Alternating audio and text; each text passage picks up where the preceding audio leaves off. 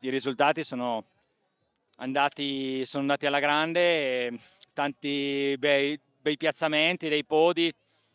anche nelle gare distance mi sono sempre ben comportato, soprattutto nelle ultime due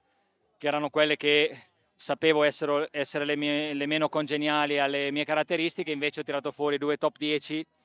in, eh, inaspettate e che mi hanno fatto rimanere lì in zona calda della classifica. Peccato per non troppi secondi giù dal podio, già la classifica generale del Tour de Ski, ma comunque una grande soddisfazione.